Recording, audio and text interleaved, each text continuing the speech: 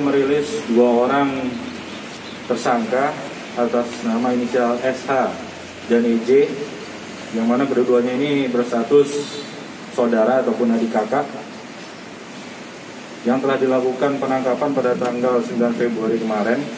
2022 di TKP di rumahnya dan per hari memproduksi sebanyak 30 tabung gas LPG 12 kg.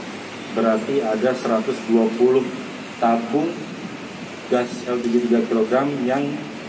dibutuhkan dalam satu hari untuk memproduksi 30